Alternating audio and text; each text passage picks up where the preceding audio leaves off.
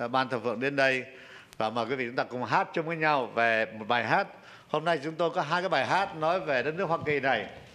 Uh, let actually we have two songs to sing about this country, but you know two songs that it I believe that in God's will. So we not only just thank God for the country, and also we pray for this country. Chúng ta không những cảm ơn Chúa về đất nước này, nhưng mà chúng ta cũng cầu nguyện cho đất nước này. Chúng ta cảm ơn Chúa vì quý vị đến đây ngày hôm nay và chúng ta cũng chúng tôi chào mừng tất cả quý vị chúng ta cùng đến thờ phượng Chúa. Chúng ta sẽ cùng nhau hát hát uh, bài hát và bài hát uh, uh, American tuyệt vời, America the beautiful. Let us sing together.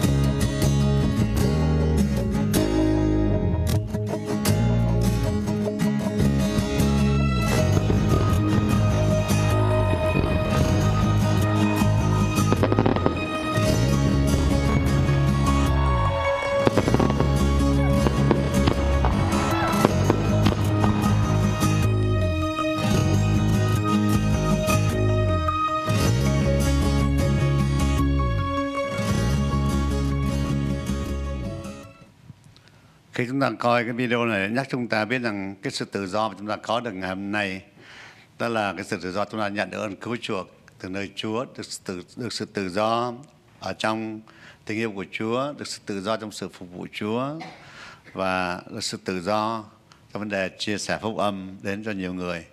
Hãy cảm tạ ơn Chúa vì những gì chúng ta có và chúng ta cũng cầu nguyện cho tất cả những cơ hội dịp thuận tiện chúng ta có được để có thể đem đến cho người khác thấy được tình yêu của Thiên Chúa. As we watch this video, we thank God for our dependence upon God. We have to thank God for that we rely on Him for everything, you know, and special we may remember to pray for this country. And so this time I ask you to stand up. Mời quý vị đồng đứng dậy chúng ta hát chung với nhau bài hát. Xin Chúa ban phước cho đất nước Hoa Kỳ. Let us sing the song God Bless America. Không những chúng ta hát, nhưng mà chúng ta cầu nguyện cho đất nước Hoa Kỳ.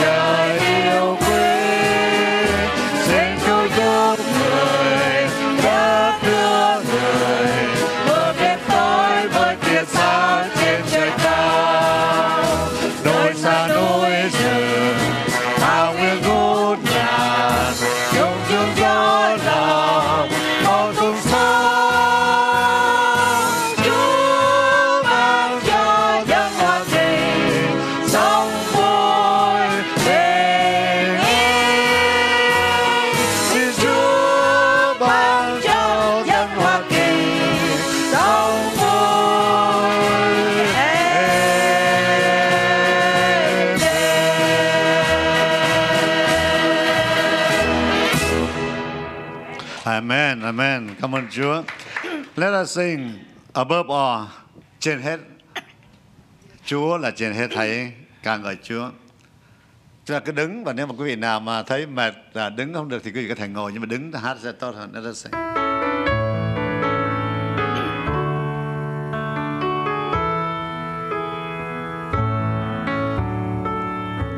Ngài vượt hết năng quyền và trên cả vua Ngài là Chúa muôn đời cai quản trên cả thiên nhiên.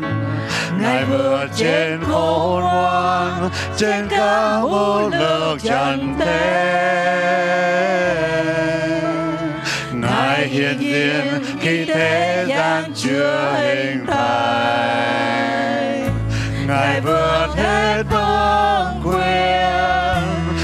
trên các ngôi. Ngài đầy giấy đáng quyền khắp đất muôn dân suy tôn. Ngài vượt trên cao sang, trên các quốc cải trần thế. Còn điều gì cao quý so đường bằng ngài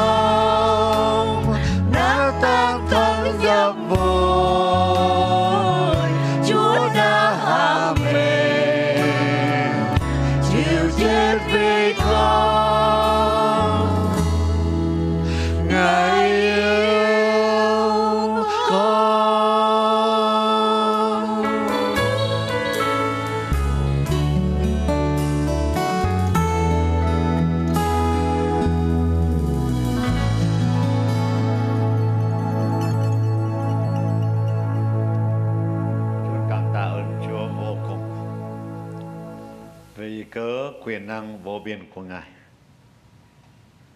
Vì cớ sự sáng tạo của Ngài, vì cớ sự tài trị của Ngài. Vì cớ không ai có thể so sánh được cùng Ngài. Bởi vì Ngài là Chúa của môn Chúa, Vua của môn vua. Là đấng duy nhất tạo dựng vũ trụ, tài trị vũ trụ. Và tất cả muôn loài thọ, thọ tạo ở trong vũ trụ này đều vì Ngài mà có và đều ở dưới sự tài trị của Ngài. Cảm ơn Chúa vì chúng con được Chúa bày tỏ chính mình Ngài cho chúng con. Sự khôn ngoan của Ngài đến cho chúng con, chúng con quyết định dâng chính đời sống của chúng con cho Chúa, đầu phục Chúa, để chúng con thờ phượng Chúa khi tội lỗi của chúng con được tha thứ và cho chúng con được đặc ân, được làm con cái của Chúa để đồng công với Ngài trong việc giao truyền phúc âm của Chúa đến cho thế gian này và cũng sẽ đồng cai trị cùng Ngài khi Chúa trở lại trần gian. Vì vậy khi chúng con đến thờ phượng Chúa buổi chiều ngày hôm nay, con cầu nguyện xin chính Chúa hiện diện với chúng con, bày tỏ chính Ngài cho chúng con, cho chúng con được gặp Chúa, được tương giao cùng với Ngài, được thờ phượng Ngài. Và chúng con tin rằng chỉ có Chúa của chúng con là đấng duy nhất xứng đáng nhận được sự tôn vinh và chúc tụng. Vì vậy đứng trước mặt Chúa trong thời gian này, con cầu nguyện xin Chúa ban ơn cho tất cả các con cái của Chúa, những người có mặt trong đền thánh của Chúa, cũng như những người đang trực tuyến cùng với chúng con để thờ phượng Ngài. Ban cho chúng con được ơn trước mặt Chúa khi Chúa tha thứ những tội lỗi của chúng con cho chúng con được xưng công mình trước mặt Chúa để chúng con được tường giao cùng với Ngài, thờ phượng Ngài, nghe những điều mà Chúa dạy dỗ, bày tỏ, hướng dẫn cho mỗi đời sống của chúng con. Đây là một điều thật là tuyệt vời khi Chúa dành thì giờ này cho chúng con để chuẩn bị chúng con cho một tuần lễ mới. Chúng con cảm ơn Chúa. As we gathering to worship our Heavenly Father, we believe you are the only one to deserve our worship because you are the creator and we are your creatures. So may your name be glorified as we worship you. And may your love fill on, uh, up on us so that we humble ourselves before you. We worship you. We lis- listen well. And we believe this is the time, the Sunday, the first day of the week. You bring us together as you prepare us, equip us for the new week. So thank you for everything you have done for us to prepare for us. So we ask the Holy Spirit to help us to worship you from the bottom of our hearts. Whatever be the barrier between, between you and us, I just pray you remove it and ask for the forgiveness of our sins if any one of us commits in the past week. So we can become righteousness, we can fellowship with listen well, understand your message. So we commit this time into your hand. We ask you to bless us. Xin Chúa ngài ở cùng với chúng con ban phước cho chúng con, khi chúng con cùng nhau thờ phượng Chúa. Chúng con cùng cầu nguyện trong danh Chúa Giêsu Christ. Amen.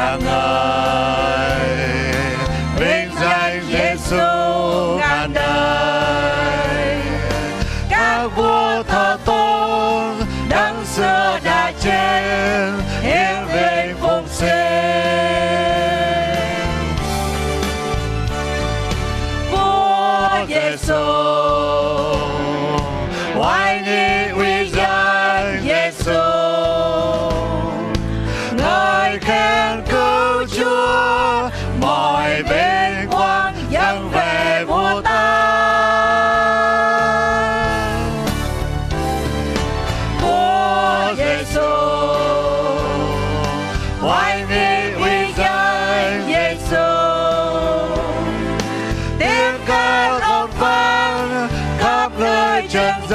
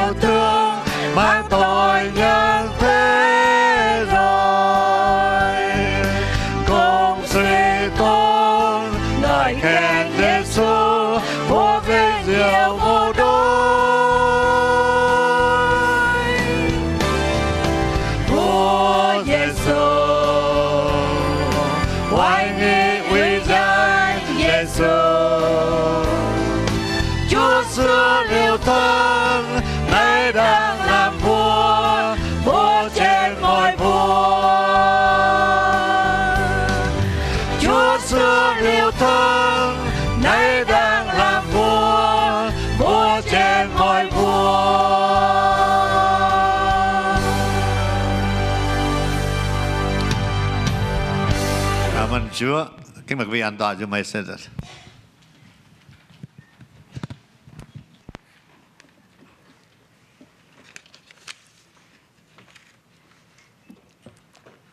Hôm nay là Chủ nhật đầu tháng, chúng ta có thời giờ để cùng nhau dự lễ tiệc thánh. Cảm ơn Chúa khi chúng ta nghĩ được cái đời sống của mình nó có cái giá trị thì chúng ta sẽ sống xứng đáng với, với cái giá trị đó càng hơn có nhiều người sống trên đời này, nhưng mà thật ra họ sống như là một cái sự, nghĩa là cho qua ngày đoạn tháng mà thôi. Nhưng mà không phải sống có ý nghĩa, có mục đích. Tất nhiên cái ý nghĩa của họ có thể là kiếm tiền, nhiều tiền, giàu có, địa vị, tất cả các thứ khác. Nhưng mà cái mục đích không có chỉ đơn giản như vậy. Cái mục đích của chúng ta sống ở trên đời này, đó là chúng ta phản ánh được sự vinh quang của Thiên Chúa đã đấng đã tạo dựng cho chúng ta. Cho nên vì vậy, khi chúng ta cùng nhau dự lễ thực thánh, Chúa dùng cái thời gian này để nhắc nhở mỗi đời sống của chúng ta về cái giá trị của chúng ta. Chúng ta có giá trị ngày hôm nay là tại vì Chúa đã bày tỏ tình yêu của Ngài đối với chúng ta, sẵn sàng hy sinh mạng sống của con Ngài. Là ngôi hai Đức Chúa Trời là Chúa Thế Giêsu từ địa vị cao cả xuống thế để sẵn sàng hy sinh thế cho tội lỗi của chúng ta. Và cũng chính vì cái giá trị của Chúa như vậy mà Ngài phải hy sinh chúng ta như vậy thì chúng ta thấy rằng cái giá trị của chúng ta nó cao quý vô cùng. Cho nên vì vậy hãy cảm tạ ơn just thank God for every time we take the Lord communion. God to remind us about who we are about the purpose, His purpose in this life for us. So that is a time for us to meditate before we receive the Lord Communion. Just thank God. God loves us and He just reminds us every time, every opportunity. Chúng ta cảm ơn Chúa vì cơ Chúa yêu thương chúng ta, cho nên Ngài muốn nhắc cho chúng ta về cái địa vị cao quý của mình, nhắc cho chúng ta hãy sống làm sao cho xứng đáng với địa vị con gái của Chúa. Cho nên vì vậy khi chúng ta cùng nhau dự lễ thực thánh thì Chúa nhắc cho chúng ta biết về cái về cái giá trị của chúng ta khi chúng ta cùng nhau dự lễ thực thánh. Mỗi khi chúng ta cùng nhau dự lễ thực thánh đó thì chúng ta phải suy nghĩ đến cái giá trị trong chính đời sống của mình.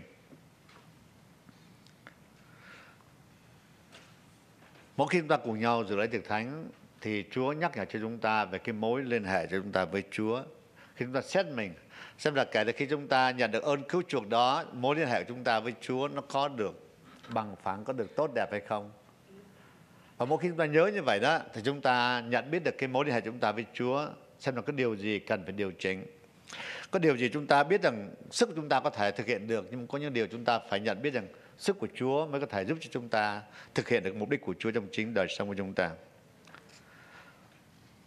So every time we take the Lord's communion, God just remind us about, about His love for us, about ourselves, about His purpose in our life.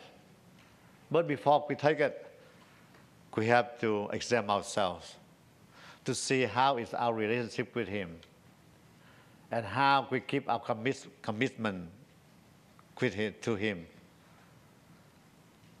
But if anything we need the help from Him, we have to ask Him to help us. Một khi chúng ta suy gẫm về cái mối liên hệ chúng ta với Chúa, chúng ta suy gẫm xem có điều gì chúng ta cần sự giúp đỡ từ nơi Chúa, mình sẽ cầu nguyện, mình cầu nguyện xin Chúa giúp cho chúng ta có sức để chúng ta có thể vượt qua khỏi những cái sự khó khăn, thử thách. Cho nên vì vậy trong thời gian này, tôi mời tất cả quý vị chúng ta đồng đứng dậy, chúng ta cầu nguyện At this time, I ask you stand up before we take the Lord's Communion. Stand up. Examine yourself. Ask God for the forgiveness. Any things, any sins we commit against Him. Hãy cầu nguyện xin Chúa tha thứ cho những tội lỗi của chúng ta, có những điều gì chúng ta sống chưa được đẹp theo yêu của Chúa. Chúng cảm ơn Chúa vì chúng con được đến đây để cùng nhau thờ phượng Chúa. Thật cảm tạ ơn Chúa vô cùng. Chúa của chúng con quá tuyệt vời. Ngài nhìn biết mỗi đời sống của chúng con, sức của chúng con và Ngài biết rằng cuộc sống hiện tại của mỗi chúng con đang phải đối diện trên đời này. Nên những gì Chúa sắp đặt cho chúng con trong vấn đề dự lễ tiệc thánh thật là quá tuyệt vời. Vì đây là cái cơ hội mà Chúa nhắc chúng con biết rằng chúng con là ai. Và nhắc cho chúng con biết rằng Chúa của chúng con là ai. Và nhắc cho chúng con biết rằng cái mục đích của chúng con trên đời này là gì và nhắc cho chúng con biết rằng cái đặc ân mà chúng con đang có với Chúa của chúng con cái sự chuẩn bị của chúng con cho sự sống đời đời là gì có như vậy chúng con biết và chúng con có thể nhờ cậy Chúa để sống cho xứng đáng với cái địa vị cao quý đó và sống xứng đáng để bày tỏ cái mục đích của Chúa trong chính đời sống của chúng con. Thì giờ này nếu có những điều gì tội lỗi mà chúng con đã phạm, chúng con cầu nguyện xin Chúa tha thứ cho chúng con. Để chúng con có được sức mới từ nơi Chúa. Có thể làm những gì tốt đẹp nhất khi chúng con đã từng hướng nguyện với Chúa qua chính đời sống của chúng con. Thank you, our Father in heaven, for this time. You help us to examine ourselves and to see how good is our relationship with you. And also willing to ask for the forgiveness. And also to recommit our life to you. When we understand your purpose in our life, as you sacrifice your son for us because of your love.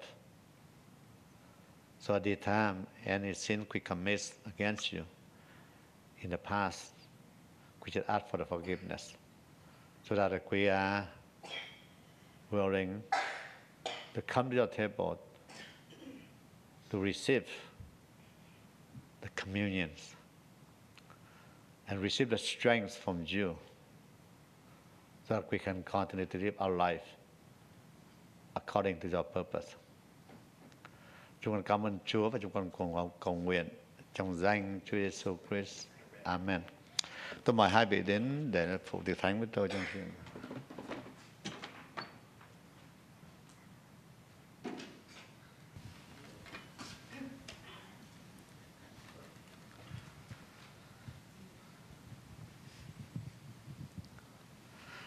Trong đêm Chúa Giêsu bị nộp, Ngài lấy bánh tạ ơn rồi bẻ ra mà phán rằng đây là thân thể ta vì các con mà phó cho. In the night, the Lord Jesus had betrayed. He established the, the Lord's Communion, the Lord's Supper. And he took the bread, bread and also to give thanks and to bake it and said, This is my body.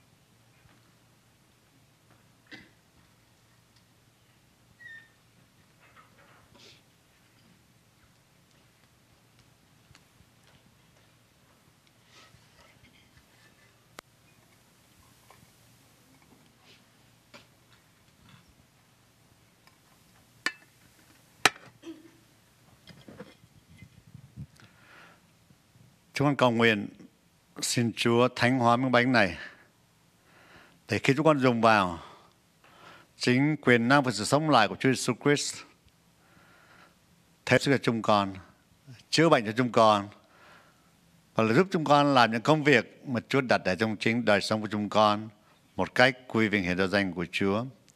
I ask the Holy Spirit to sanctify this prayer and also to empower us to give us the strength and help us to live our life for you and to do your work and glorify your name.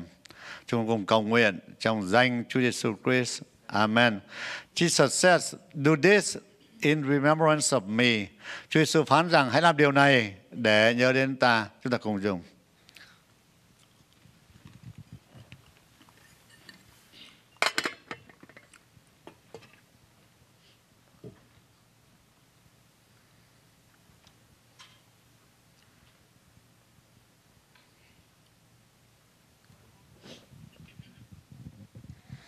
Có một thầy ấy sau khi dùng bữa tối rồi, ngài đã chén mà phán, chén này là máu ta, máu sự giao ước của ta đối với các con. After that, Jesus said to the cup and said, This is my blood, and the blood of the new covenant. Hai cái này là mỗi người đứng bên đầu hả? Một người đứng một bên một đưa qua đưa lại ha, phải chỉ có một cái thôi. Một người chỉ đứng bên đầu bên kia đây. Phải cái kia.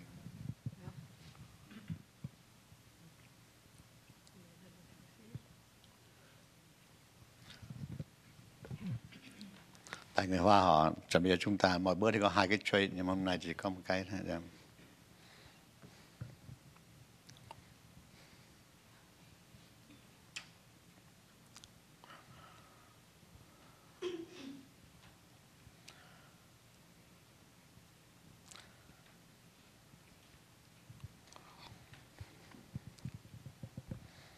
Khi quý vị chờ đợi nhận được cái à, chén đó, thì quý vị có thể à, dành thời giờ để mà mình cầu nguyện à, với Chúa.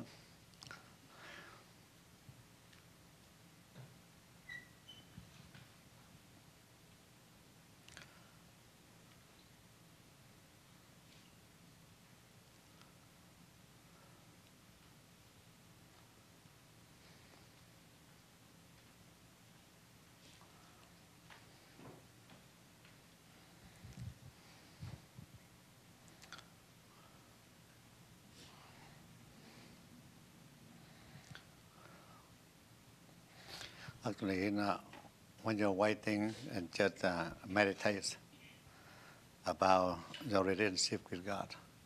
See?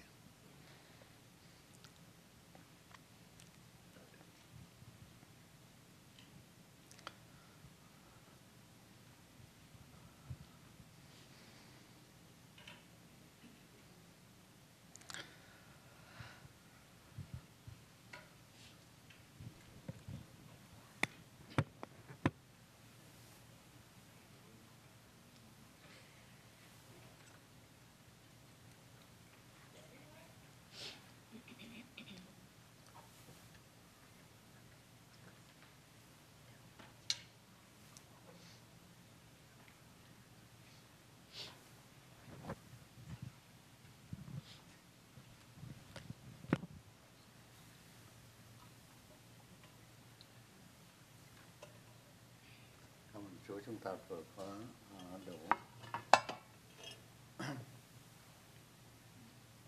Còn ai là người chưa có? Ok, let us pray. Chúng cảm ơn Chúa vì mỗi chúng con có chén nước nho trên tay. Tượng trưng cho máu của Chúa Jesus Christ vì cớ chúng con phải đổ ra. Con cầu nguyện bởi quyền năng và sự phục sinh của Chúa Giêsu. Xin thánh linh của Chúa thánh hóa chén nước nho này để khi chúng con dùng vào chính chén nước nho này, nước nho này tượng trưng cho huyết của Chúa Jesus Christ thanh tẩy tội lỗi của chúng con. Thêm sức cho chúng con và quyền năng của Chúa Jesus Christ thi thố trên đời sống của chúng con cả về mặt thuộc thể lẫn mặt thuộc linh để chúng con có đủ ơn đủ sức trước mặt Chúa để làm mọi sự vì cớ cho vinh hiển danh của Ngài. I ask the Holy Spirit to sanctify this cup. When you take it, take it, may it clean out sin, empower us, give us the strength, the wisdom that we can be able to live our life for you and do the work you entrust to us and bring glory to your name. Chúng cùng cầu nguyện trong danh Chúa Jesus Christ. Amen. Jesus says, do this in remembrance of me. Chúa Giêsu phán rằng, hãy làm điều này để nhớ đến ta. Chúng ta cùng dùng.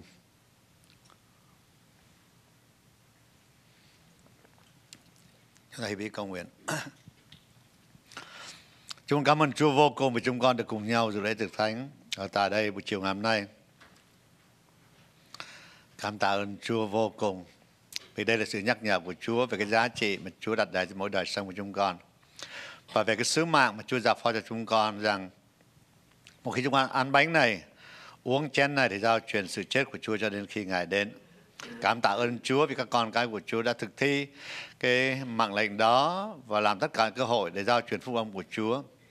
Vì vậy chúng con cầu nguyện trong thiền này xin Chúa giúp cho chúng con nhờ ơn của Chúa sống trong mục đích của Chúa và sẵn sàng giao truyền phúc âm của Chúa cho mọi người trong tất cả những cơ hội dịp thuận tiện mà chúng con có được. Không chỉ những không những như vậy nhưng mà chúng con cũng muốn có cơ hội để dâng hiến cho công tác truyền giáo.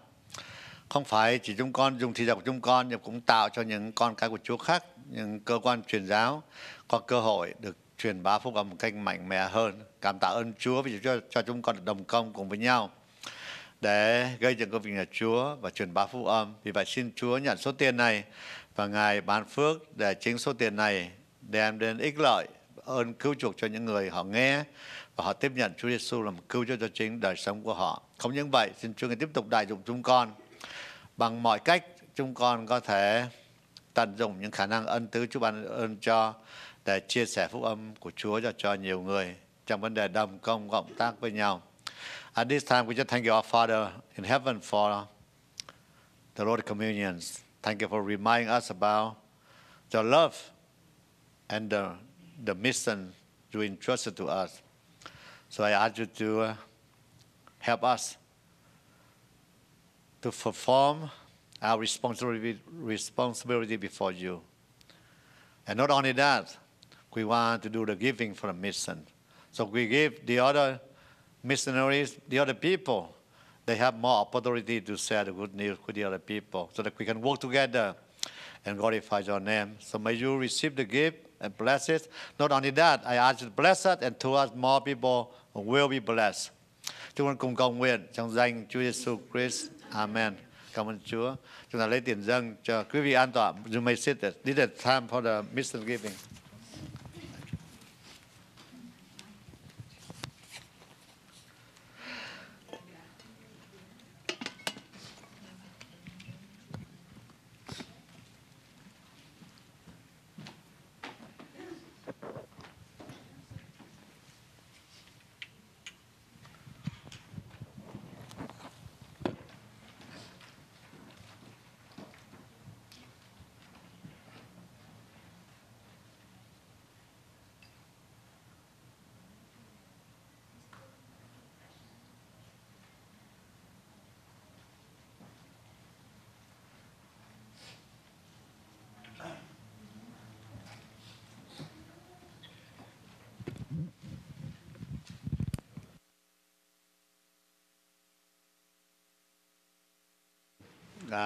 Cho vấn đề truyền giáo thì tôi có thể thông báo.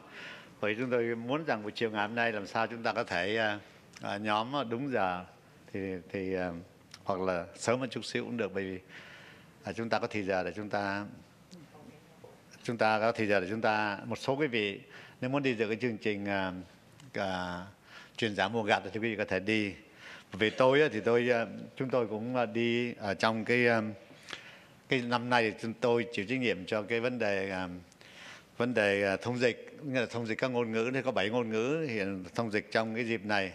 Thật là tôi nói tôi đi, nhưng mà tôi chỉ chịu trách nhiệm chính, nhưng mà tôi cảm ơn Chúa thì có Tina.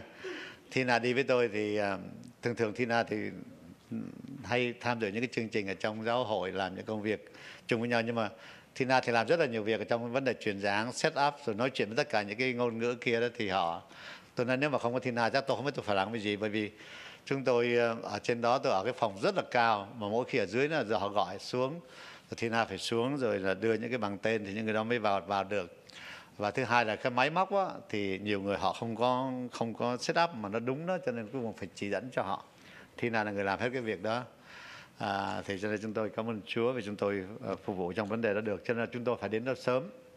À, đến đó sớm à, dẫu vậy thì hôm nay cũng đỡ hơn hôm qua. Bởi hôm qua chúng tôi hôm thứ sáu chúng ta đã đến để để sắp đặt rồi nhưng mà hôm qua phải đến sớm nữa We just thank God for the Harvest Crusade at the, at the Honda Stadium, Honda uh, Center. And we just thank God for the, for the program yesterday. And thank God for give us the opportunity to, uh, to serve. Uh, we just thank God. You know, wherever, wherever we serve, we see the people who receive the Lord Jesus Christ for the personal Savior. What else can, we can, we can enjoy it? So we are so happy to see the people just go down and uh, you know open the heart for Jesus. Chúng tôi rất là vui khi phục vụ thì thấy nhiều người khác họ tin Chúa đó.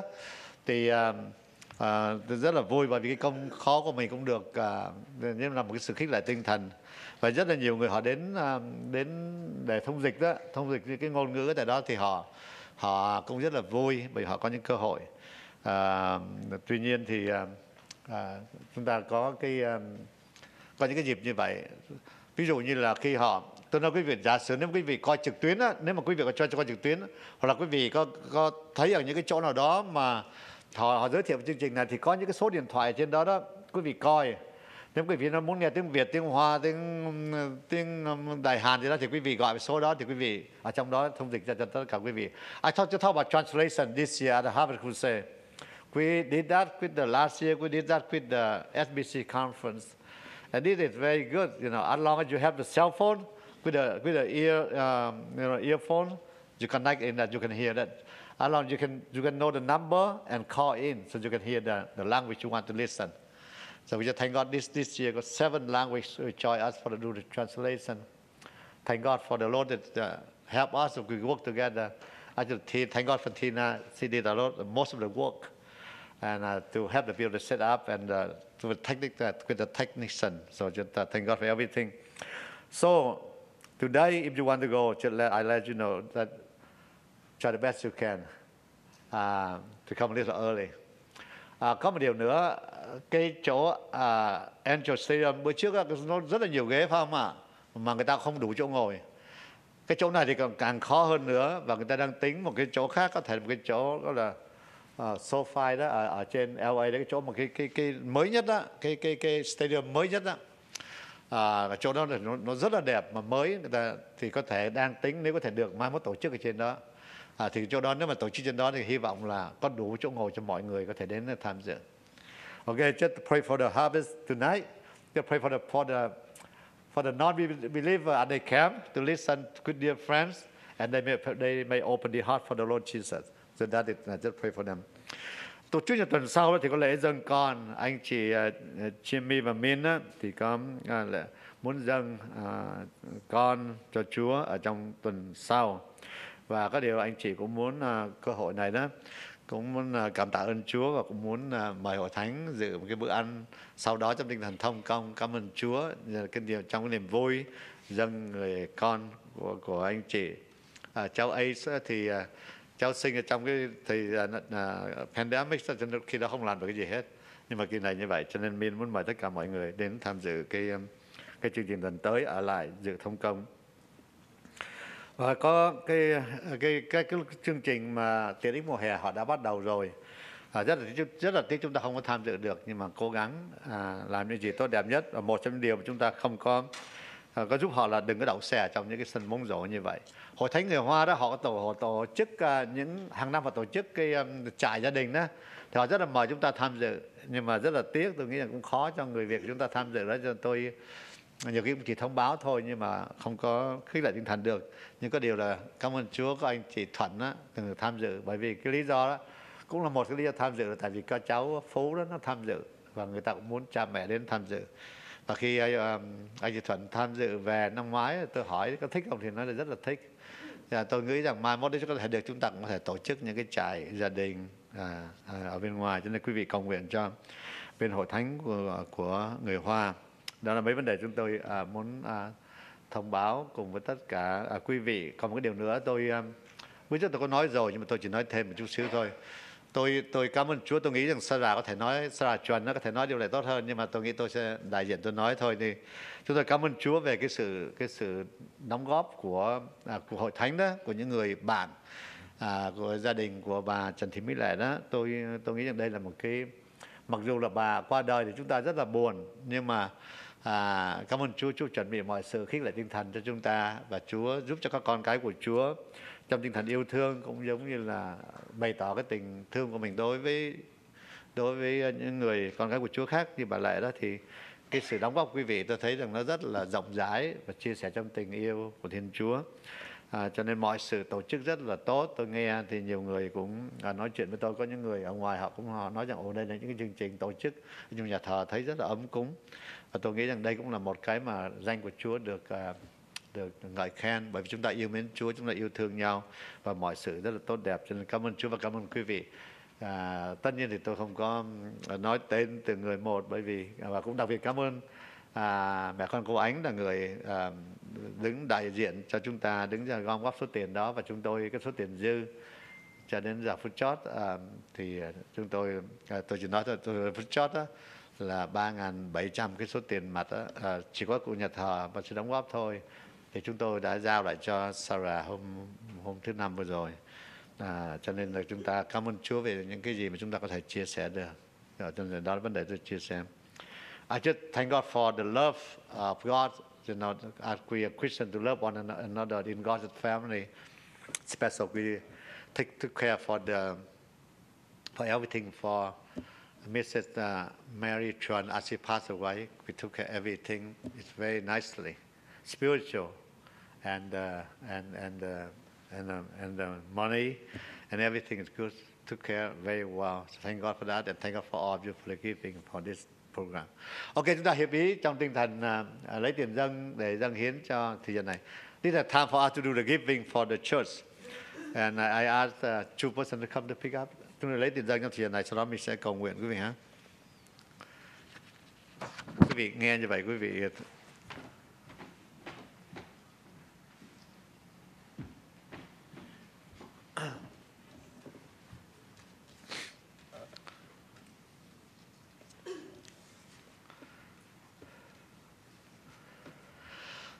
có cái nữa tôi à, không có ghi từ đây nhưng mà quý vị biết à, có một số quý vị ngạc nhiên khi thấy ông Phước ông đi ông bà Phước đi vào trong nhà thờ.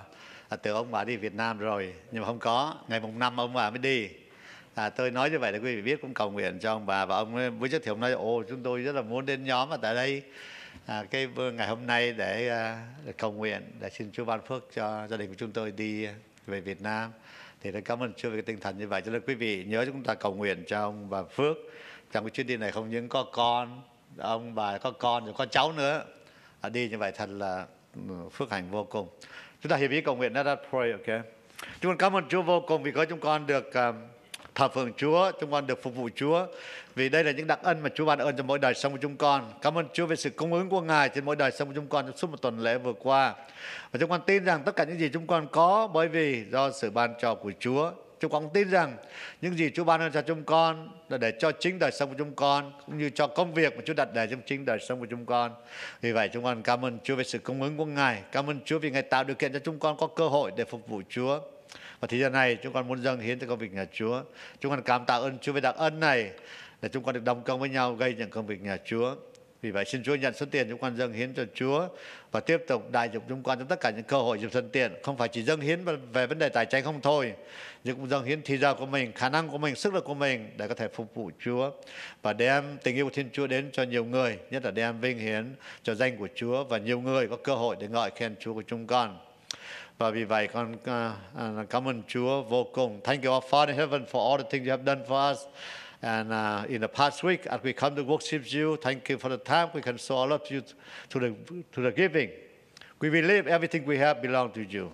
We believe that everything we have, you entrust to us. It's for our life, personal life, family life, and also for the opportunity to serve you. So may you continue to use us to serve you. And, and at this time, I should ask you to receive the gift. We take a portion of the gift you entrust to us and return to you. Thank you for our opportunity to, to give back to you, to serve you by serving your church. So may you receive it, bless it, and use it for your glory. Not only that, we pray special for this long weekend, for everyone wherever we go to do in uh, tomorrow or maybe uh, July 4 on Tuesday, I just ask you to be with us, give us the guidance, give us the protection for everything. Bless us so that we can enjoy to fellowship with you and also enjoy the fellowship with one another. We I pray for Mr. Lam and his family as they travel to Vietnam on the 5th of this month. I ask you to be with them, bless them spiritually, physically, so they can enjoy the trip. And they have a, a chance. I just pray that you help them to witness for you and talk about your love and also the salvation with the other people, maybe the family member. May you bless them, keep them, and also to them, more people will be blessed. Chúng con cầu nguyện đặc biệt cho ông bà Phước trong chuyến đi này. Xin chúng con cảm ơn Chúa vì đây là chuyến đi đặc biệt. Ông bà đi cùng với gia đình. Xin Chúa ở cùng với ông bà, những người, những người trong gia đình, ban cho họ có sức khỏe, có được niềm vui và mọi sự di chuyển từ đây về Việt Nam được uh, mọi sự an toàn cũng như bất cứ nơi đâu ông đi xin Chúa ngài cho ông bà và những người cha, trong gia đình có cơ hội để bày tỏ tình yêu của Thiên Chúa qua chính đời sống của ông bà cũng như qua những người trong gia đình. Chúng con cảm ơn Chúa. Chúng con cùng cầu nguyện trong danh Chúa Giêsu Christ. Amen. Cảm ơn Chúa. Tiếp theo đây chúng ta sẽ cùng nhau thờ phượng Chúa qua việc nghe lời của Chúa. Là Uh, this time, let us continue to worship God through scripture reading. I ask Mr. Lam to do the reading today in Vietnamese. English follow on the screen. Lời của Chúa buổi chiều ngày hôm nay được đọc trong thư Roma đoạn 12 từ câu 1 đến câu số 6, thư Philip đoạn 4 từ câu 7 đến câu số 12.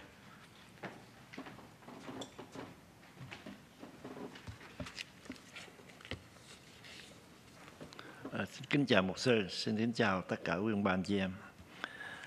Sau đây tôi xin đọc phúc âm thư Roma đoạn 12 từ câu 1 đến câu 6. Xin tế sống cho Đức Chúa Trời.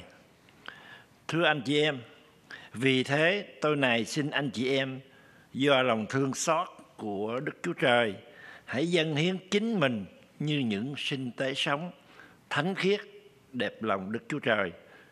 Đó là sự thờ phượng hợp lẽ của anh chị em đừng rập khuôn theo đời này, nhưng hãy được biến hóa bởi sự đổi mới tâm trí để thử nghiệm cho biết ý định tốt lành, trọn vẹn và đẹp lòng đức chúa trời. Sống khiêm nhường trong hội thánh.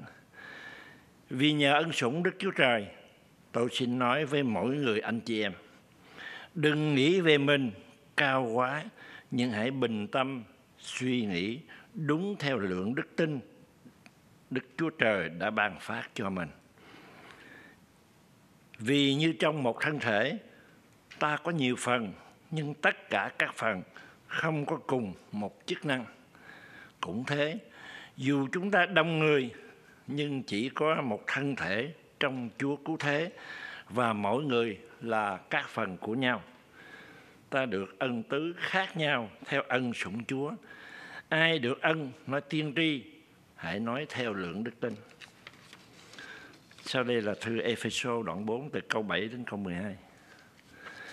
Mỗi người trong chúng ta nhận được ân sủng tùy theo lượng mà Chúa Cứu Thế ban cho mình. Do đó, Kinh Thánh chép, Ngài đã lên nơi cao, dẫn dắt các tù binh và ban ăn tứ cho loài người. Khi nói Ngài lên, có nghĩa gì? Nếu không phải là Ngài đã xuống những nơi thấp của trái đất. Đấng đã xuống cũng chính là đấng đã lên cao hơn mọi tầng trời để làm viên mãn mọi sự. Chính Ngài cho một số người làm sứ đồ, một số làm tiên tri, một số làm truyền giáo, một số làm mục sư và giáo sư nhằm mục đích trang bị cho các thánh đồ cho công tác phục vụ gây dựng thân thế, Chúa cụ thể. Đó là lời của Chúa. Còn xin Chúa ban phúc cho lời của Ngài.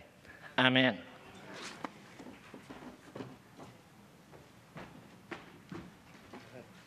Xin thêm come up. Có vào hai bài hát mà chúng tôi muốn nhắc quý vị nhất là trong cái cái dịp này đó. Thứ nhất, chúng ta suy nghĩ bao cường quốc nay còn đâu. Đây là cái vấn đề như vậy. Tất cả mọi thứ trên thế gian này nó sẽ không còn nữa khi Chúa trở lại ngoài trừ nước vinh hiển của Chúa mà thôi. Cái thứ hai là cái sức mà chúng ta có được đó là bởi thần của Chúa. Actually, two songs we're going to sing This is very important and you can see that it happened around us. You know, so this is this is we sing together and um, we as the it help us to to rely rely upon God more and more and trust in Him for to doing His work.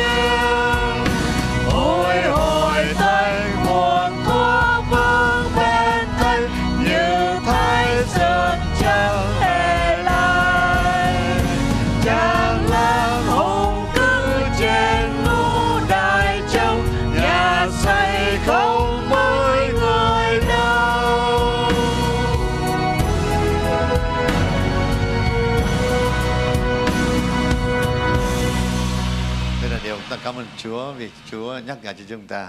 Just thank God for His remind us about what happened on the earth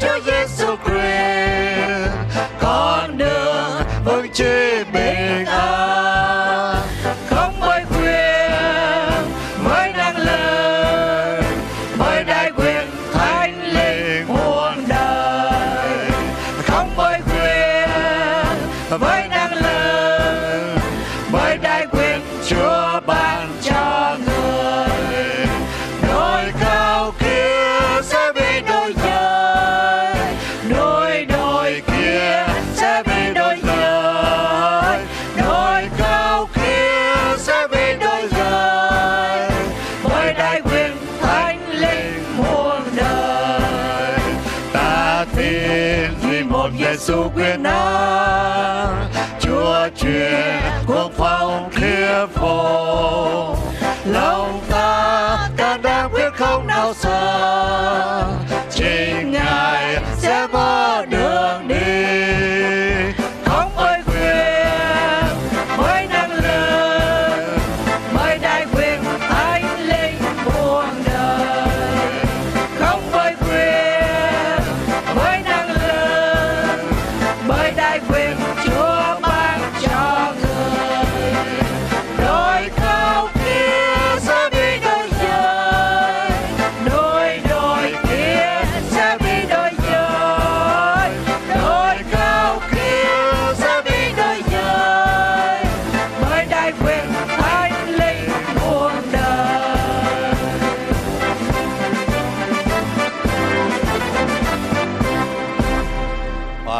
Chúa. Amen.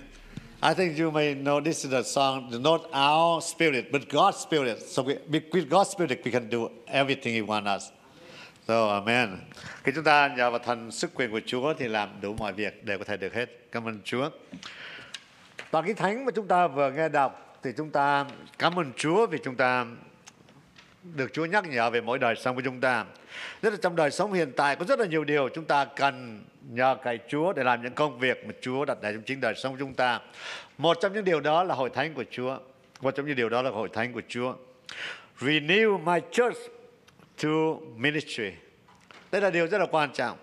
Và đổi mới hội thánh con cho thánh chức là điều mà chúng ta cần suy nghĩ trong buổi chiều ngày nay cầu nguyện cho hội thánh và cầu nguyện cho những công việc Chúa đặt đề trên mỗi đời sống của chúng ta. Có một câu kinh thánh mà tôi muốn mời quý vị đọc chung cùng với nhau. À, can you move it to next one? Let us read this verse together. Read verse in Romans chapter 12 verse 2. Mà quý vị đọc. We read in Vietnamese. If you don't read Vietnamese, read in English, up to you. Mà quý vị đọc chung cùng với nhau. Đừng dập khuôn theo đời này, nhưng hãy được biến hóa bởi sự đổi mới tâm trí để thử thách những nghiệm cho biết ý định tốt lành, trọn vẹn và đẹp lòng Đức Chúa Trời. Tôi đọc lại chút xíu. Đừng dập khuôn theo đời này, nhưng hãy được biến hóa bởi sự đổi mới tâm trí để thử nghiệm cho biết ý định tốt lành, trọn vẹn và đẹp lòng Đức Chúa Trời. Chúng con cảm ơn Chúa đây là thì giờ chúng con cùng nhau ngồi dưới bệ chân của Chúa nghe lời của Chúa.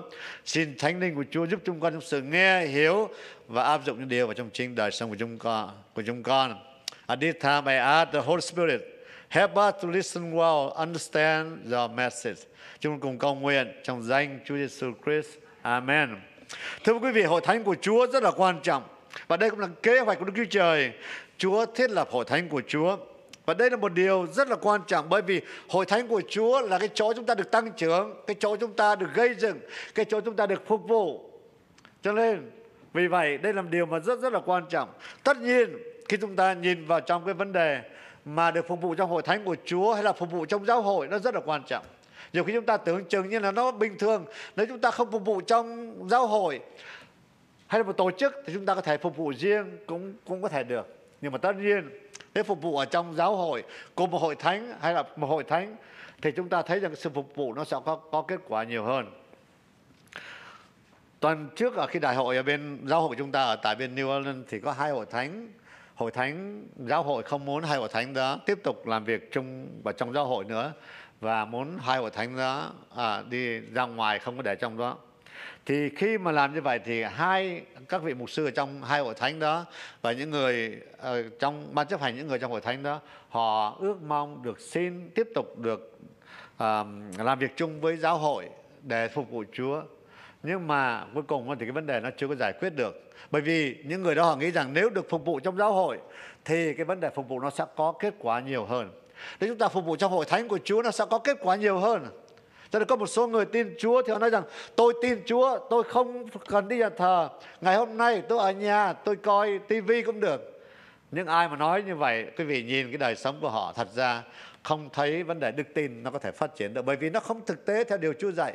Nếu một người mà tin Chúa đó họ nói tôi sống theo điều Chúa dạy đó thì người đó phải đi nhà thờ bởi Chúa phán như vậy, Chúa dạy như vậy. Và người đó phải được gây dựng ở trong nhà thờ, trong đức tin của mình.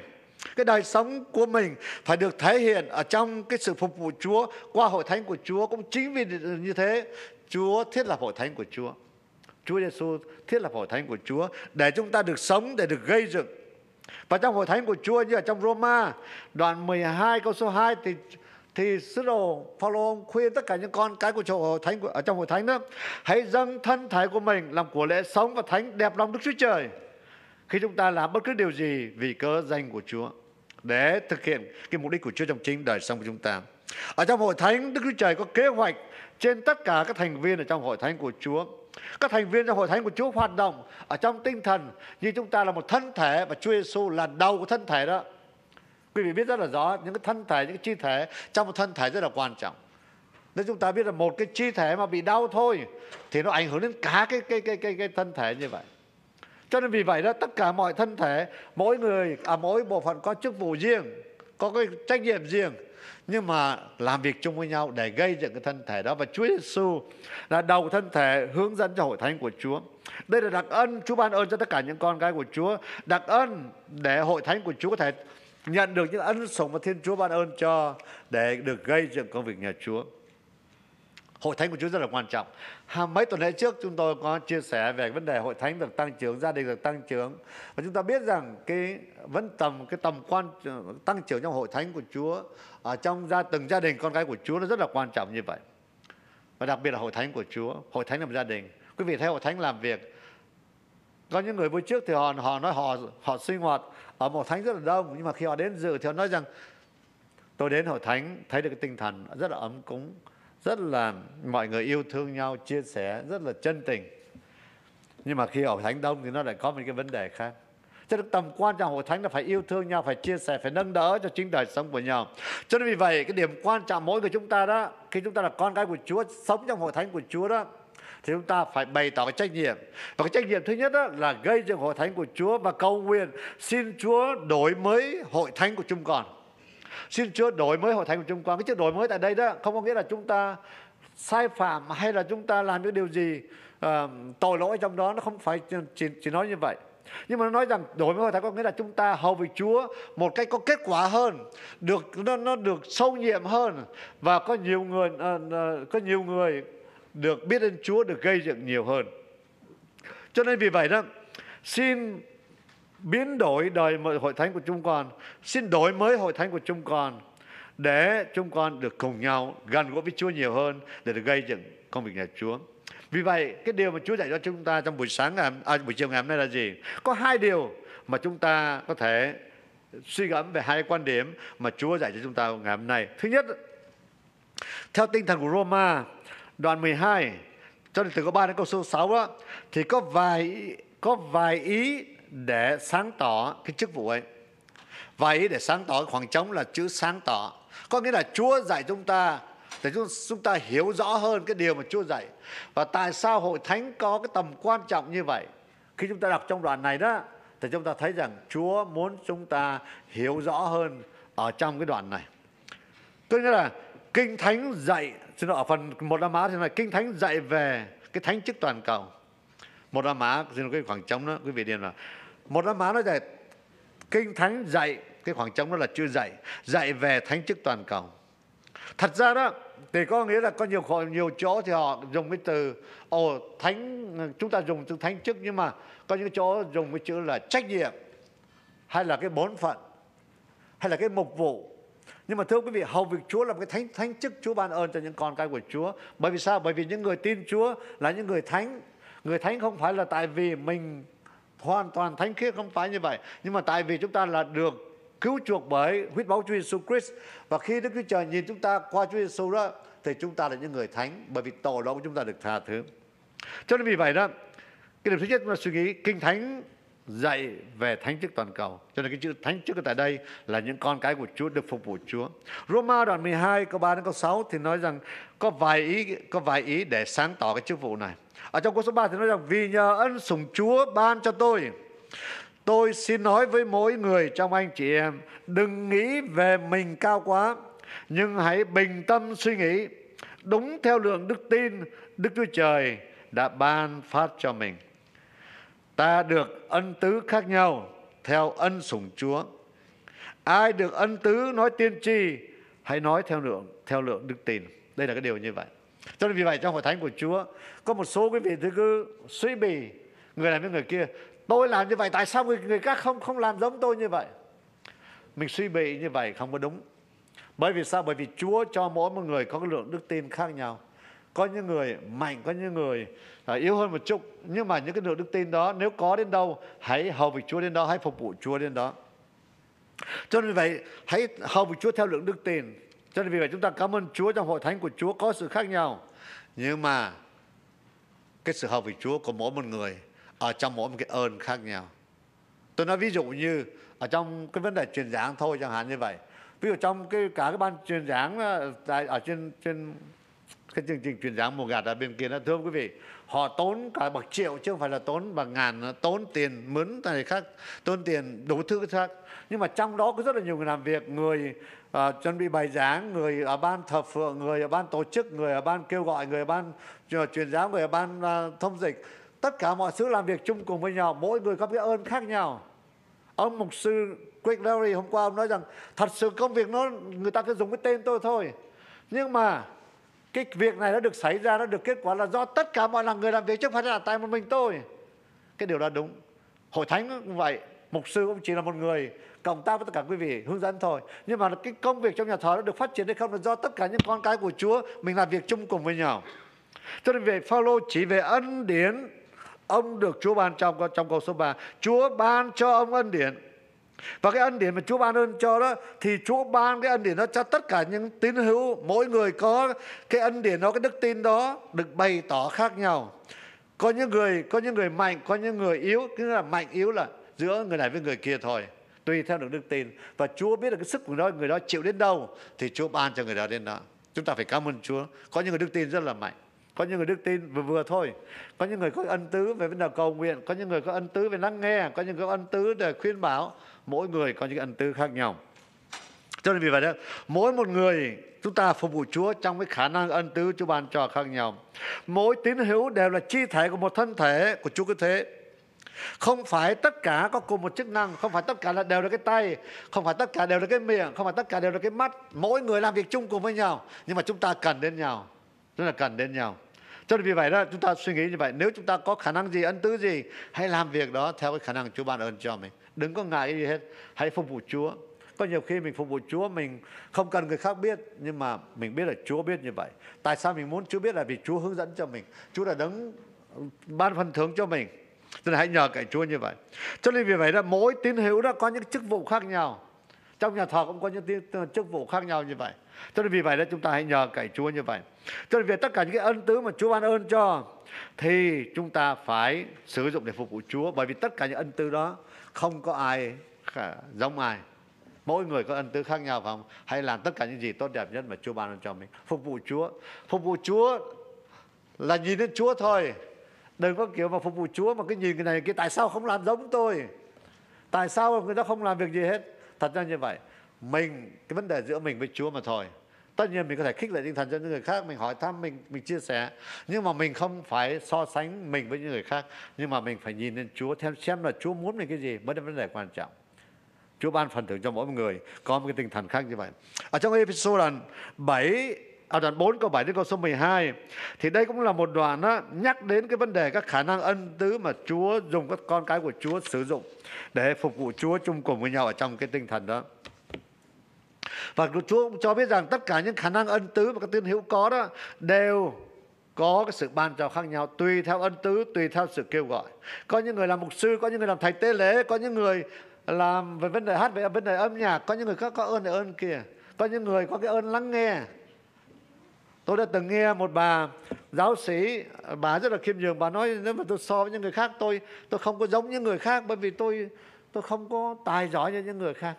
Nhưng mà nhiều người biết rằng bà là người được ơn vô cùng. Bởi vì bà đã đưa biết bao nhiêu người đến với Chúa bởi vì bà có cái ơn lắng nghe thôi. Bà không có ngồi đó để mà cạnh tranh với những người khác xem ai nói giỏi hơn hay là ai ai tài hơn hay, hay là ai hiểu hơn. Người ta chia sẻ bà ngồi lắng nghe và bà bà có thể đưa những người đó đến gần với Chúa và sau đó bà chỉ nói rằng thật ra đó những cái vấn đề như vậy đó thật ra con người khó thể giải quyết được nhưng mà Chúa giải quyết được.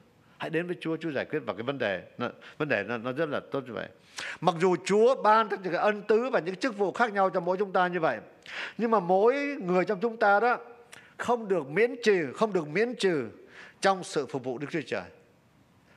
Chúng ta có sự ân tứ khác nhau nhưng mà không có nghĩa là chúng ta được miễn trừ trong sự phục vụ Chúa. Nhưng mà chúng ta được sử dụng tất cả những ân tứ đó để phục vụ Chúa trong cái khả năng cái ân tứ Chúa ban cho mình. Có những người có cái ơn cầu nguyện hay cầu nguyện. Có những bà, tôi thấy nó có những bà cao tuổi bà nói cho thật ra bây giờ tôi không biết tôi làm cái gì nữa. Tôi lái xe không được, tôi không nói chuyện giống như người khác không đi được, sức khỏe tôi yếu như yếu. Nhưng bà nói tôi có một cái điều mà tôi có thể làm được, tôi cầu nguyện. Và bà ngồi bà cầu nguyện cho người khác, ở nhà cầu nguyện, tranh thủ cầu nguyện và có những khi có được gọi điện thoại, khích lệ tinh thần cho những người khác. Cho nên vì hãy cảm ơn Chúa về đó. Không có nghĩa là có những cái ân tứ khác nhau mà chúng ta, có những người được miễn trừ. Chúng ta hãy sử dụng tất cả những ân tứ khác nhau được phục vụ Chúa để để gây dựng một thân thể. Chúng ta nhìn trong thân thể của chúng ta, mỗi người có cái khả năng có những cái bộ phận khác nhau, nhưng mà tất cả những bộ phận đó đều làm việc đều làm việc để gây dựng cái thân thể đó. Đó là Chúa. Nhắc nhắc nhở cho chúng ta như vậy. Cho nên mỗi người chúng ta đó, hãy phục vụ Chúa. Vì vậy mỗi một cơ đốc nhân đó, nhận biết cái ân tứ của mình, cái chức vụ của mình, cái khả năng của mình. Và nhận biết rằng cái ân tứ Chúa ban ơn cho chúng ta đó là quý giá bởi vì Chúa tin tưởng chúng ta, Chúa ban cho chúng ta. Và khi chúng ta làm như vậy đó, thì hãy sử dụng những khả năng ân tứ đó để phục vụ Chúa. Theo sự kêu gọi của Chúa đối với những người khác. Thật ra đối với tôi bây giờ đó, ví dụ như tôi bây giờ tôi cũng có những cái ước ao nhưng mà tôi chỉ ước ao thôi. Và tôi ước ao của tôi bây giờ là ước ao có những người khác có thể làm việc nhưng mà tôi không làm việc đâu bởi vì cái, cái giai đoạn của tôi nó qua rồi. Là tôi, tôi không phải trong vấn đề như vậy. Tôi thấy à, bây giờ ví dụ bên phi châu đó bây giờ người ta có những cái chỗ người ta hầu vị chúa một cách rất là tốt. Nếu có thể hầu vị chúa được một cách rất là tốt như vậy. Và tôi ước mong rằng nếu mà tôi còn có thể khả năng tôi ước mong rằng đó, mình đến những cái vùng như vậy mình truyền truyền giáo cho họ mình làm sao giúp cho đời sống của họ tốt đẹp hơn họ đến với Chúa một cách dễ dàng hơn nhưng mà mình không thể làm được bởi vì tôi không có đơn là như vậy. Nhưng mà có những người khác họ cũng có những cái tâm tình, những cái chia sẻ như vậy. Đó là điều rất rất là tốt. Cảm ơn Chúa về điều đó. Điểm thứ hai, phần hai la mã. Chúng ta suy nghĩ vấn đề như vậy. Áp dụng thực tế về thánh chức toàn cầu. Áp dụng thực tế về thánh chức toàn cầu. Thực tế. Áp dụng thực tế, cái chữ trong đó là, cái khoảng trống là là cái chữ thực tế vì mỗi một người cơ đốc á, chúng ta có một thánh chức phổ quát ở trước mặt Chúa. Vì vậy chúng ta phải áp dụng thực tế. Áp dụng thực tế là mỗi người trong cái bổn phận, cái trách nhiệm của mình, cái khả năng của mình làm được cái gì, hãy làm cái việc đó. Cho tôi cảm ơn Chúa và tôi thấy gặp rất là nhiều những người cái gương mà rất là tốt. Họ nói rằng tôi tôi nghĩ rằng đó là cái ơn của tôi cho tôi thôi. Tôi phục vụ Chúa trong cái ơn đó. Có những người có cái ơn gọi điện thoại thăm những người khác. Có những người có cái ơn để lắng nghe những người khác chia sẻ. Có những người có cái ơn để phục vụ những người khác, hoặc tạo điều kiện cho người khác là chia sẻ.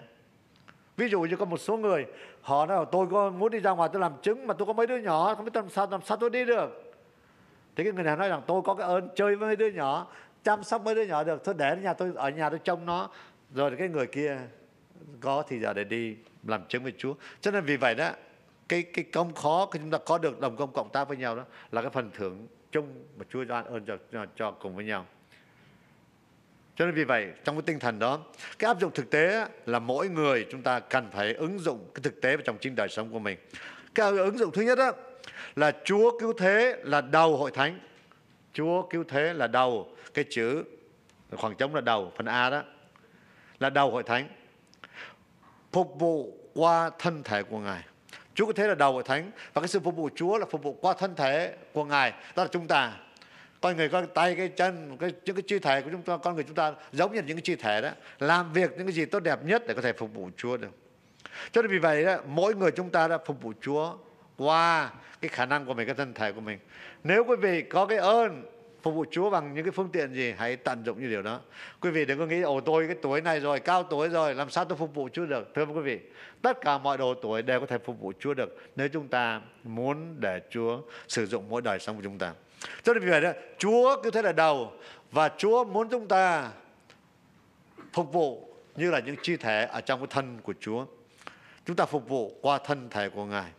Điểm thứ hai, nếu chúng ta giới hạn đấy cái chữ khoảng trống đó là giới hạn nếu chúng ta giới hạn thánh chức cho mục sư hoặc nhân viên hội thánh chúng ta bỏ lỡ kế hoạch của Đức Chúa Trời dành cho hội thánh.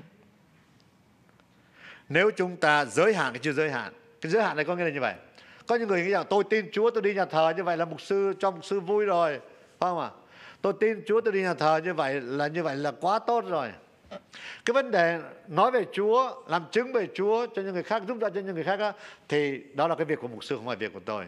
Hoặc là việc của những nhân viên trong nhà thờ. Nếu như nhà thờ có à, mướn những nhân viên làm việc trong nhà thờ thì người ta nghĩ là ồ tại vì nhà thờ trả tiền cho người đó rồi. Thì người đó phải làm cái việc này việc kia như vậy.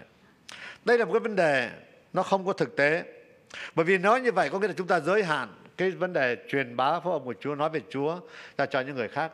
Ờ, và đó là giới hạn qua qua những người đó nhưng mà làm như vậy là chúng ta đã bỏ lỡ kế hoạch của chúng ta trong hội thánh của Chúa Chúng ta nói như vậy có nghĩa là chúng ta không có thể đồng công trong cái công việc gây dựng hội thánh của Chúa được.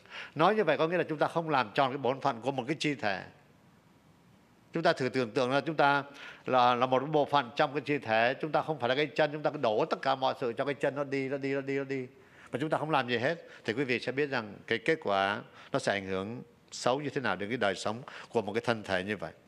Cho nên vì vậy, đừng có giới hạn cái chức vụ uh, truyền bá phúc âm hoặc gây dựng hội thánh của Chúa hoặc là phục, phục vụ Chúa cho các mục sư hay là những nhân viên mà thôi. Những người đó Chúa dùng cái đặc biệt để cộng tác lại với nhau. Nhưng mà cái công việc là mỗi người làm theo cái khả năng của mình.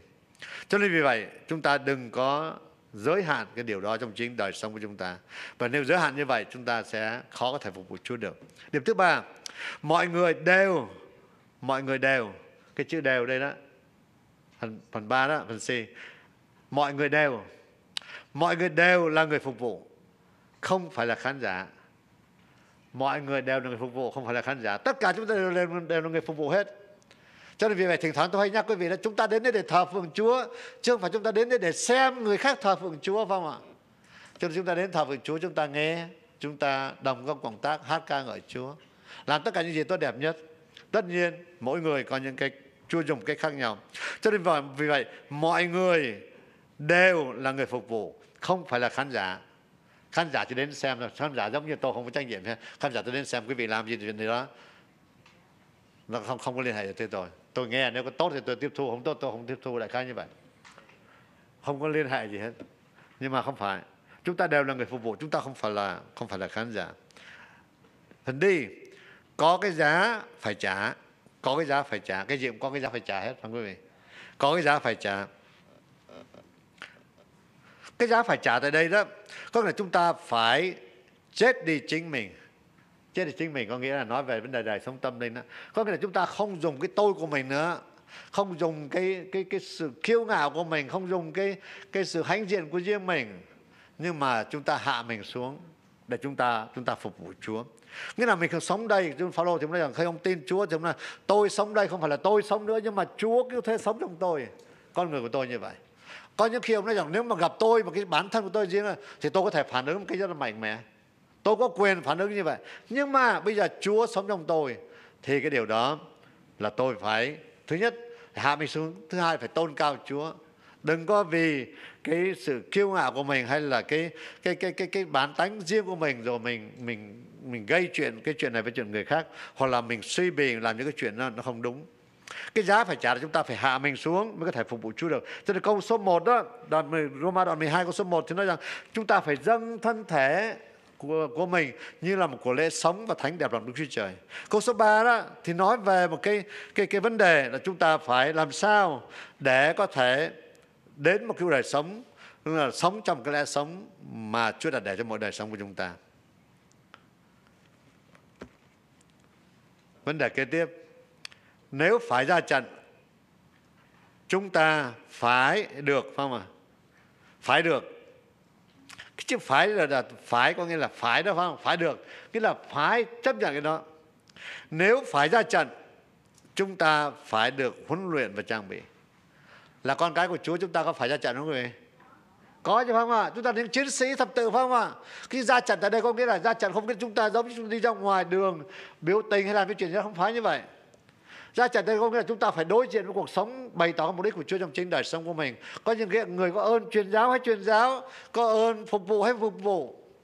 có ơn chia sẻ chia sẻ có ơn cầu nguyện hay cầu nguyện có ơn thăm viếng hay thăm viếng có ơn khích lệ tinh thần hay khích lệ tinh thần là tất cả những gì chúng ta có được cho nên vì vậy chúng ta phải được huấn luyện và trang bị bởi vì sao nếu được huấn luyện và trang bị đó thì chúng ta sẽ có kết quả càng hơn Thế tại sao chúng ta biết rằng trên đời này mọi người sinh ra đều cần phải đi học nếu như có cơ hội? Tất nhiên ngày xưa thì không có học ở trong trường thì học ở đường ờ, ngoài trong trường đời phải không ạ? Thì nó khác. Bây giờ cái điều kiện đây người ta phải khuyến khích những người khác đi học. Làm sao? Bởi vì phải được trang, trang bị được đào tạo được huấn luyện để người đời sống người đó sẽ trở nên tốt hơn. Không những tốt hơn cho mình nhưng mà còn tốt tốt hơn cho xã hội nữa bởi vì nếu mà mình không được đào tạo không được trang bị không có sự hiểu biết đó, thì nhiều khi chính mình lại gây ra những cái phiền phức cho những người khác nữa. Cho nên vì vậy hãy làm tất cả những cái gì mà chúng ta có thể làm được trong chính đời sống chúng ta. Phải được đào tạo phải được huấn luyện. Cho nên vì vậy chúng ta phải, phải cảm ơn Chúa về điều đó. Cho nên vì vậy nếu đã ra trận chúng ta những chiến sĩ ra trận thì phải được huấn luyện được được trang bị. Những người ở trong quân đội được huấn luyện các tín đồ của Chúa cũng cần phải được huấn luyện được trang bị. Chúng ta là những người chiến sĩ của Chúa. Và chúng ta phục vụ theo tinh thần của Chúa. Cho nên vì vậy chúng ta hát hai cái bài hát sau cùng chúng ta, chúng ta biết rằng đó tất cả những cái cái chính quyền phải không ạ? Ở trên tức là những những những cái, cái chính quyền những cái tất cả những cái cái cái thể chế ở trên trên đời này đó rồi nó sẽ qua đi. Quý vị biết rất là rõ phải không ạ? Ví dụ như ngày một cái quốc gia như là quý vị nước nga như vậy quý vị thấy rằng nó là một cái quốc gia mà và đất nước mà nó mạnh vô cùng phải không ạ? Nó bị đổ vỡ và ngày hôm nay nó tiếp tục nó, nó gặp nhiều vấn đề như vậy. Và chúng ta biết rằng cái sự tồn tại nên cuối cùng là chỉ có Chúa mà thôi không ai có thể tồn tại giống như Chúa được hết trơn. Mọi thứ đều qua đi mọi thứ đều qua đi nhưng mà chỉ có ai thuộc về Chúa thì những cái gì mà chúng ta đầu tư mới có được cái sự sự tồn tại được vĩnh viễn mà thôi là những con cái của Chúa như chúng ta học Chúa Chúa kể chúng ta đó thì mới có thể được được, được, được kết quả mà thôi. Ta xin Chúa ban cho chúng ta cái tinh thần như vậy. Để kết luận cái bài học buổi chiều ngày hôm nay đó, tôi đọc một câu chuyện kể về một vị mục sư ở tại bên Dallas. Ông mục sư này đó thì ông là tên là ông Ernest.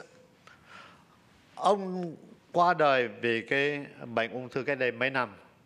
Nhưng mà trước đó thì ông chia sẻ về cái cuộc đời của ông. Ông chia sẻ với cuộc đời của ông, ông nói rằng khi ông nghĩ về cuộc đời của riêng ông đó thì ông nói rằng tôi là ai? Tôi là ai? Và nếu như tôi sống một mình tôi đó, thì cái cuộc sống nó nó sẽ như thế nào? Cho nên vì vậy ông nói rằng thật ra cuộc sống của mình tôi đó thật ra thì nó nó không có gì đáng cả.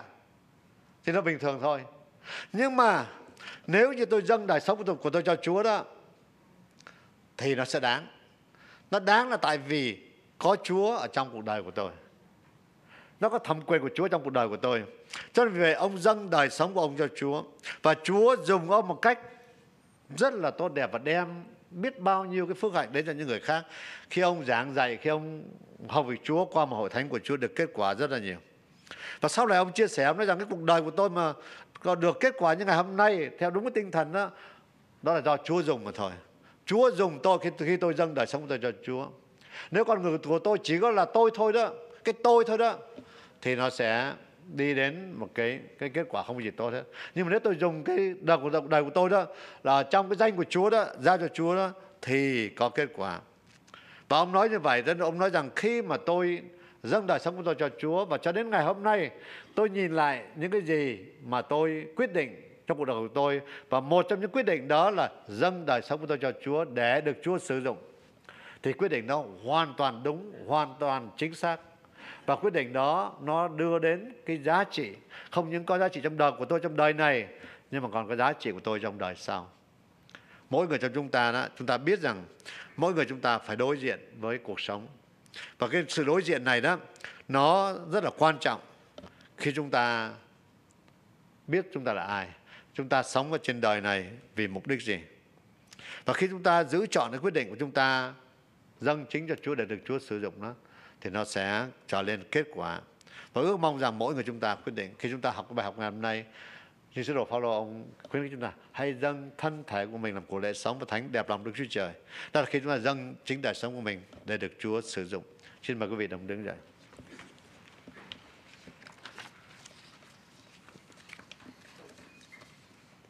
Chúng con cảm ơn Chúa vô cùng vì cớ Chúa yêu thương ai thì Ngài bày tỏ chính mình Ngài cho người đó. Đặc biệt đây là hội thánh của Chúa, các con cái của Ngài. Chúng con yêu mến Chúa. Chúng con muốn đồng công với nhau để gây dựng công việc nhà Chúa qua hội thánh của Chúa tại đây. Con tin rằng đó là điều mà đẹp theo ý của Chúa và đó cũng là điều mà Chúa Ngài muốn. Ngài thiết lập hội thánh của Chúa để chúng con được đồng công với Chúa, phục vụ Chúa một cái có kết quả. Chúng con là những chi thể trong một thân thể và Chúa Giêsu là đầu.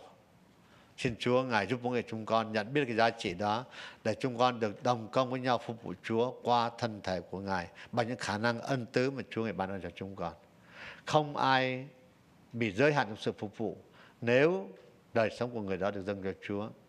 Xin Chúa, Ngài dùng mỗi đời sống của chúng con để phục vụ Chúa và xin Chúa, Ngài sử dụng chúng con một cái có kết quả đem phước hạnh cho những cho những người khác. Và chính chúng con cũng sẽ nhận được những cái phước hạnh. Và một trong những phước hạnh đó, khi ngày Chúa trở lại, Chúa sẽ gọi tên từng người trong chúng con và phán rằng, hỡi đầy tớ ngay lành và trung tín, đến nhận phần thưởng mà ta sắm sẵn cho con. Còn mong rằng mỗi chúng con sẽ được gọi tên mình. Chúa gọi tên mình đến nhận phần thưởng Chúa ban ơn cho bởi vì chúng con dâng đời sống của chúng con cho Chúa có một đời sống kết quả Thank you, Father in heaven, for your presence, presence with us, and thank you for your teaching. I should ask you to help us, to humble ourselves, to dedicate, dedicate our life to you.